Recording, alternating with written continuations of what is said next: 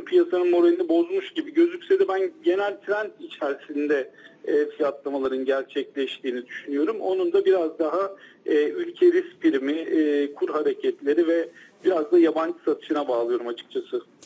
Peki yine e, piyasadaki fiyatlamalar e, üzerinden devam edelim. E, döviz tarafını nasıl değerlendiriyorsun?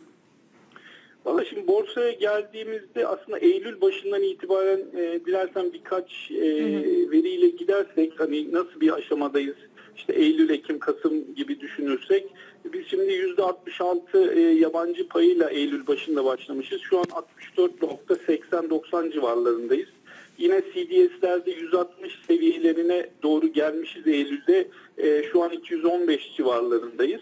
E, bu durum içerisinde borsada da tabii bir 110-115 bin test e, edildi iki kere e, yukarı doğru hareketler oldu ama e, geri çekilmelerin son dönemde özellikle son e, bir hafta içerisinde biraz daha sert olduğunu görüyorum. Ben birincisi e, Kasım sonunda özellikle yurt dışı portföy çıkışlarının e, biraz başladığını yavaş yavaş her ne kadar haftalık bazda e, net bir şekilde görmesek de kağıt değişimleri olduğunu bazı bilanço özellikle e, büyük ölçekli şirketlerde açıklanan bilançoların e, beklentinin altında kalmasıyla birlikte satışların devam ettiğini görüyorum.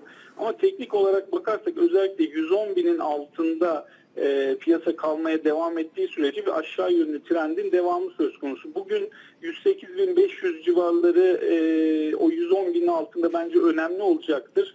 Eğer buranın da altına doğru bir sarkma olur, burası da kırılırsa e, tekrardan daha önce e, 110 binden aşağı doğru test ettiğimiz o 105-107 bin aralığına doğru e, ben hem satışların hem fiyatlamaların özellikle yurt dışındaki endekslerde de yatay aşağı doğru bir trendle birlikte devam ede- edebileceğini düşünüyorum. Peki son olarak e, bu haftaya ilişkin beklentini e, soracağım Tonguç. Yani bu hafta e, tabii biraz da e, dünya genelinde sanayi üretimi, büyüme, enflasyon gibi veriler özellikle Amerika, Avrupa tarafından e, takip edeceğiz. Bir de yarın e, özellikle e, Frankfurt'ta gerçekleşecek bu Merkez Bankası Başkanlığı'nın e, işte merkez bankaların iletişim politikalarına dair bir toplantısı var.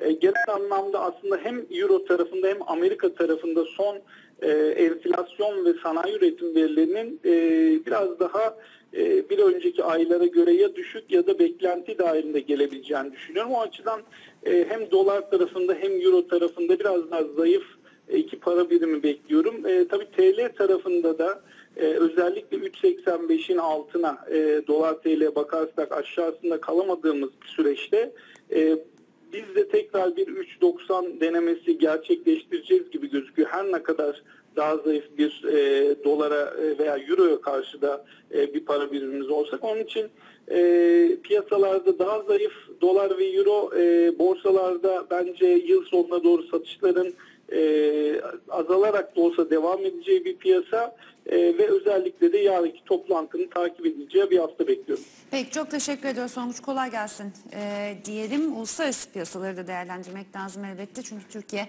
e, malum e, aslında dış